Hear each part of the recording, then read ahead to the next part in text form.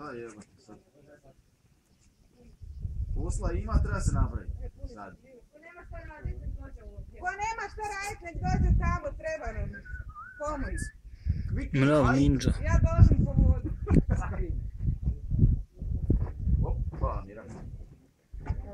Ne znam, ja sam mu rekao da fantazira i da priča gluposti i da... ne znam. A bez veze. Još uvijek ne znam u čem je pi...